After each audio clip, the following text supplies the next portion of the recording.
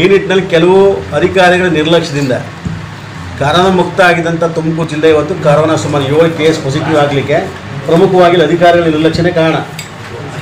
ಮತ್ತು ಅಧಿಕಾರಿ D C ಆದಂಥ ಮನುಷ್ಯ ಇದುವರೆಗೂ ಕೂಡ ಜಿಲ್ಲೆಯಲ್ಲಿ ಒಬ್ಬ ಶಾಸಕನ ಕರ, ಎಲ್ಲ ಶಾಸಕರಿಗೂ ಒಂದು ಮೀಟಿಂಗ್ ಕರೆದು ಕೂತ್ಕೊಂಡು ಅವ್ರ ಸಲಹೆಗಳು ಕಾರ್ಯಕ್ರಮ ಮಾಡಲಿಲ್ಲ ಡಿ ಸಿ ಇದುವರೆಗೂ ಇದ ಜಿಲ್ಲಾ ಮಂತ್ರಿಗಳು ಒಂದ್ಸರಿ ಮೀಟಿಂಗ್ ಕರೆದು ಬಿಟ್ರವನ.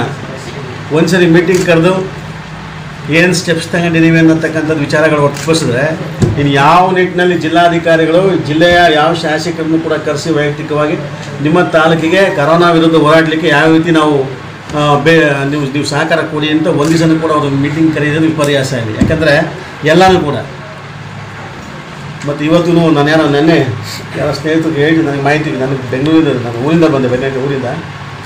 ಯಾರೋ ಸ್ನೇಹಿತರು ಮಾಹಿತಿ ಕೊಡೋದು ಪಿ ಪಿ, ಕಿಟ್ಗಳೆಲ್ಲ ವ್ಯವಹಾರ ಆಗೈತೆ ಅಂತೇಳಿ ಯಾರೋ ಒಬ್ಬರು ಮಾಧ್ಯಮದಲ್ಲಿ ಏನಷ್ಟು ಏನೋ ನಾನು ಪತ್ರಿಕಾಗೋಷ್ಠಿ ಮಾಡೋದು ಅಂತೇಳಿ.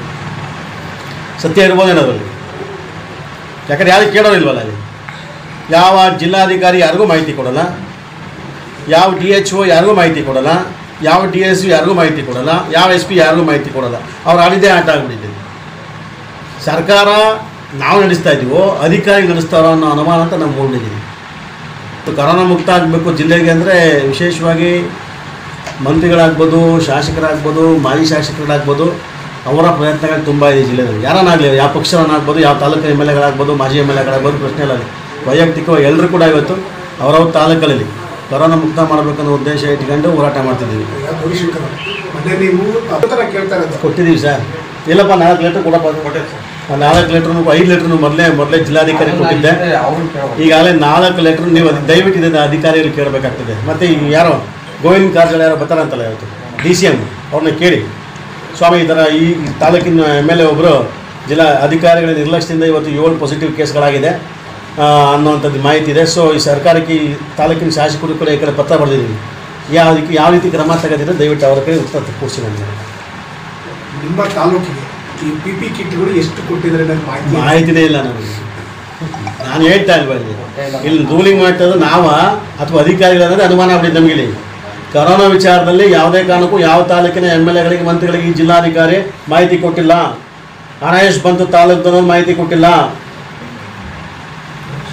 ಯಾವುದು ಕೂಡ ಸ್ಥಳೀಯ ಶಾಸಕರಿಗೆ ಇಡೀ ಜಿಲ್ಲೆಯಲ್ಲಿ ಮಾಹಿತಿ ಕೊಡದಿರೋಂಥ ಕೆಲಸ ಈ ಪುಣ್ಯಾತ್ಮ ಮನೆಯ ಜಿಲ್ಲಾಧಿಕಾರಿಗಳು.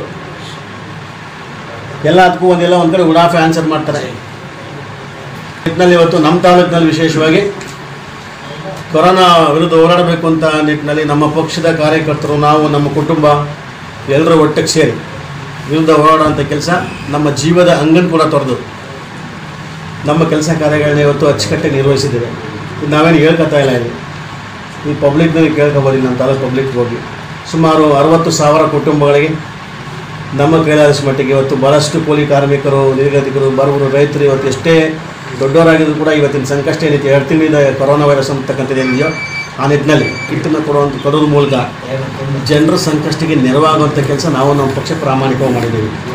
ಎಷ್ಟು ರೀಚ್ ಆಗಿದೆ? ಎಷ್ಟು ರೀಚ್ ಆಗಿದೆ? ಏನು? ಟೋಟಲ್ ಎಷ್ಟು ಸಂಖ್ಯೆ? ಅರವತ್ತು ಸಾವಿರ ರೀಚ್ ಆಗಿದೆ? ನಿಯರ್ಲಿ ಇರೋದೇ ಅರವತ್ತ ಎಂಟು ಸಾವಿರ ಮನೆಗಳು ಇಡೀ ಕುಟುಂಬ ಇಡೀ ತಾಲೂಕಿನಲ್ಲಿ. ಅರವತ್ತು ಸಾವಿರ ಕುಟುಂಬಗಳು ರೀಚ್ ಆಗಿದ್ದೀವಿ ಕೊಟ್ಟಿದ್ದೀವಿ ಅದನ್ನು. ಅದೇನು ಸುಮ್ಮನೆ ಕೂತ್ಕೊಂಡು ಮಾಧ್ಯಮದ ಮುಂದೆ ಏನು ಶೋ ಆಫ್ ಮಾಡೋದೇನಿಲ್ಲ. ಬೇಕಾದರೆ ಮಾಧ್ಯಮ ಸ್ನೇಹಿತರುಗಳು ಹಳ್ಳಿಗಳಿಗೆ ಹೋಗಬೇಕು.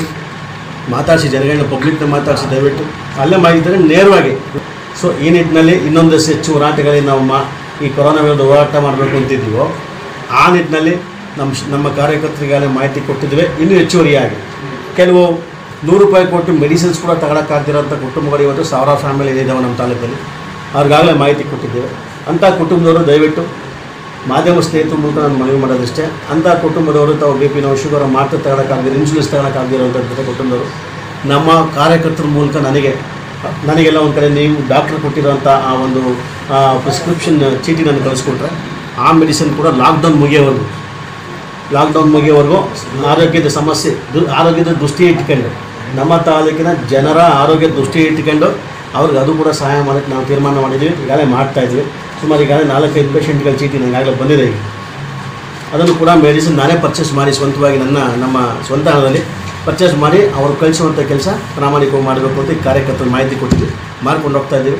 ಮತ್ತು ಯಾವುದೇ ಕಾರಣಕ್ಕೂ ನಮ್ಮ ತಾಲೂಕಿನ ಜನತೆ ನಾವಿರೋವರೆಗೂ ಹೆದರಬೇಡಿ ಧೈರ್ಯವಾಗಿರಿ ಅಂತ ಒಂದು ಮಾತು ಹೇಳಕ್ಕೆ ಬಯಸ್ತೀನಿ ಕ್ಷೇತ್ರದಲ್ಲಿ ಅರವತ್ತು ಸಾವಿರ ಜನಕ್ಕೆ ತಾವು ಕಿಟ್ಗಳನ್ನು ಕೊಡ್ತಾ ಇದ್ದೀವಿ ಇದ್ರ ಜೊತೆನಲ್ಲಿ ನಿಮ್ಮ ಜೊತೆ ಕೈ ಜೋಡ್ಸಕ್ಕಂತ ಬೇರೆ ಯಾರು ಕೂಡ ನಿಮ್ಮ ಜೊತೆ ಕೈ ಬಂದಿಲ್ಲ ಮಾಡಿಸಿದ್ದಾರೆ. ನಾನು ಹೇಳಿದ್ನಲ್ಲ ಅವಾಗಲೇ ನೀವು ಫಸ್ಟೇ ನಮ್ಮ ಕುಟುಂಬ ಇಡೀ ನಮ್ಮ ಕುಟ್ ಫ್ಯಾಮಿಲಿ ಇವತ್ತು ಅರವತ್ತು ಸಾವಿರ ಮನೆ ಕಿತ್ಕೊಡ್ಬೇಕಾದ್ರೂ ನನ್ನ ಕೈಲಿ ಈ ಕಷ್ಟ ಕಾಲದಲ್ಲಿ ನಾನು ಒಬ್ಬನ ಕೈಲಿ ಅಷ್ಟು ಸಾಧ್ಯ ಆಗ್ತಿರಲಿಲ್ಲ. ಯಾಕಂದರೆ ರಾ ಮೆಟೀರಿಯಲ್ ಸಿಗ್ತಿರಲಿಲ್ಲ ಹಣಕಾಸಿನ ಮುಂಚಬೇಕಾಗ್ತದೆ ಮತ್ತು ಜೊತೆಯಲ್ಲಿ ಬೇಳೆ ಮತ್ತು ಕವರ್ಸ್ ತರಬೇಕು ದಾರ ಹೊಲಿಬೇಕು ಲಾಕ್ಡೌನ್ ಇತ್ತು ಎಲ್ಲ ಕ್ಲೋಸ್ ಆಗಿತ್ತು. ಅಂಥ ಟೈಮಲ್ಲಿ ನನಗೆ ಎಲ್ಲ ಸಪೋರ್ಟ್ ಮಾಡೋದು ನಾನು ನನ್ನ ಜೊತೆಲಿ ನನ್ನ ಕುಟುಂಬ ನನ್ನ ತಾಯಿ, ಜೊತೆಲಿ ಅಣ್ಣ ತಮ್ಮದಿರು ನಮ್ಮ ಮಾವಂದಿರು ಎಲ್ಲರೂ ಕೂಡ ಇಡೀ ನನ್ನ ಫ್ಯಾಮಿಲಿ ಪೂರ ನನ್ನ ಫ್ಯಾಮಿಲಿ ನಿಂತಿತ್ತು ನನ್ನ ಜೊತೆಲಿ. ಮತ್ತು ನಮ್ಮ ಜೆ ಡಿ ಎಸ್ ಕಾರ್ಯಕರ್ತರು. ನಮ್ಮ ತಾಲೂಕಿನ ಜೆ ಡಿ ಎಸ್ ಕಾರ್ಯಕರ್ತರು ಅವರವರೇ ಎಷ್ಟೋ ಜನ ವೈಯಕ್ತಿಕವಾಗಿ ಅಕ್ಕಿನ ಕೂಡ, ಮಿಲ್ಲಲ್ಲಿ ಅವರೇ ಅಕ್ಕಿ ತಂದು ತರಿಸಿ ಅವರೇ ಕೊಟ್ಟಿರೋದು ಕೂಡ ಉದಾಹರಣೆಗಳನ್ನ ಮಾಡಿದ್ದಾರೆ.